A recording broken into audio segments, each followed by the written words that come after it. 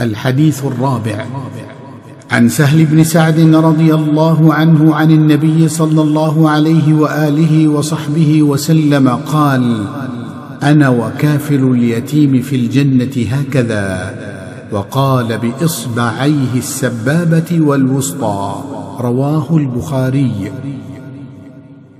في هذا الحديث يقول النبي صلى الله عليه وآله وصحبه وسلم أنه وكافل اليتيم وهو المربي له القائم بأمره وله بمعنى أن يكون من قرابته أو لغيره بأن يكون اجنبيا بأنه في الجنة مصاحبا له لعظم أجره عند الله تعالى.